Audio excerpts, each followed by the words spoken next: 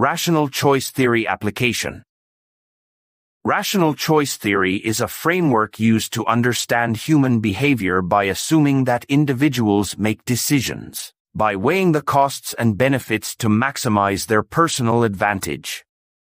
This theory assumes that people act rationally, meaning they will choose the option that provides them the most benefit with the least cost.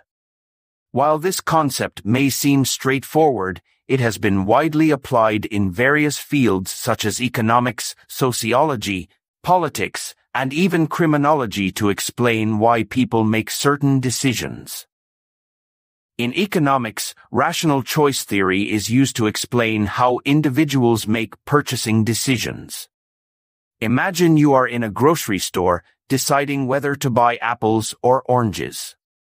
According to rational choice theory, you will weigh factors such as price, taste, and how much you enjoy each fruit, then pick the one that gives you the most value based on your preferences. Businesses also use this concept to understand consumer behavior, adjust their marketing strategies, and offer products that appeal to the decision-making process of their target audience. For example, by understanding that consumers want to maximize their satisfaction while minimizing their costs, companies may offer discounts or promotions to encourage purchasing. In the field of sociology, rational choice theory helps explain social behaviors. For instance, when individuals engage in relationships, they often make decisions based on what they expect to gain from the relationship whether it is emotional support, companionship, or social status. People form friendships and partnerships with others who they believe will benefit them the most in some way. This is not to say that people are always selfish, but rational choice theory provides a way to understand how and why individuals make decisions in their social interactions. Politics is another area where rational choice theory plays a significant role. Voters, politicians, and political parties often make decisions based on what they believe will give them the most benefit. Voters may decide to support a candidate who they believe will create policies that align with their personal interests, such as lowering taxes or improving healthcare. Politicians, on the other hand, may make strategic decisions to gain voter support, maximize their chances of winning elections, or pass legislation that aligns with their political goals. Understanding rational choice theory helps political scientists predict voter behavior and analyze political strategies. In criminology, rational choice theory helps explain why people commit crimes. The theory suggests that criminals make rational decisions by weighing the potential rewards of committing a crime against the risks and consequences, such as getting caught and punished. For example, a person might decide to commit theft if they believe the value of what they will steal is higher than the risk of getting caught. This understanding has influenced the design of policies and programs aimed at reducing crime.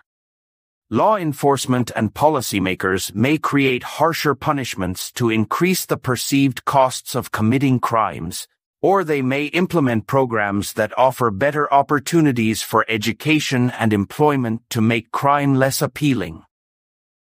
Rational choice theory also applies to decision making in the workplace. Employees may decide to take on additional tasks or pursue promotions if they believe the benefits, such as higher pay or career advancement, outweigh the costs, such as extra work or longer hours.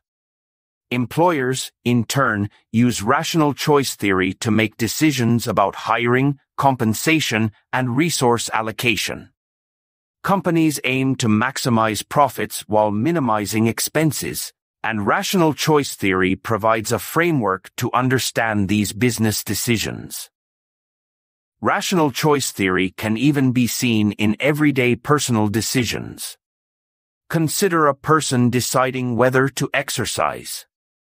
According to rational choice theory, they will weigh the potential benefits of exercising, such as improved health and increased energy, against the costs, such as time spent exercising and the physical effort required. If the perceived benefits are greater than the costs, the person will likely choose to exercise. However, if the costs are too high, they may decide not to. Despite its widespread application, rational choice theory has its limitations.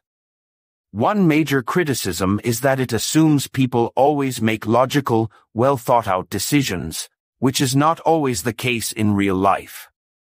Emotions, habits, and external pressures can often influence decisions in ways that are not purely rational. For example, a person may continue to smoke cigarettes even though they know it is harmful because of addiction or emotional reasons, which goes against the idea that people will always act in their best interest. Additionally, rational choice theory assumes that individuals have all the information they need to make informed decisions. However, in many situations, people may not have complete information, leading to decisions that are less than optimal. For instance, when buying a car, a person may not know all the potential maintenance costs or future fuel prices, which could affect their decision. In these cases, the theory's assumption of perfect information does not hold. Another criticism is that rational choice theory does not always account for social and cultural factors that can influence decision making. People do not always act as isolated individuals. They are often influenced by the norms and expectations of the groups or societies they belong to. For example, in some cultures, family decisions are made collectively rather than individually, which may not align with the idea of rational, self-interested decision-making. Despite these limitations, rational choice theory remains a valuable tool for understanding and predicting behavior in a variety of contexts. It provides a framework for analyzing how individuals weigh costs and benefits in their decision-making processes and offers insights into why people behave the way they do in different situations. By recognizing the rational calculations behind choices, economists, sociologists, politicians, and criminologists can design policies and strategies that better align with human behavior. In conclusion, rational choice theory is a powerful tool for understanding human behavior in many areas of life from economics and politics to social relationships and crime. While it has its limitations, it provides a useful framework for analyzing decisions based on the calculation of costs and benefits. Whether it is a voter deciding who to support, a business setting prices, or a person deciding whether to exercise, rational choice theory helps explain the factors that influence these choices.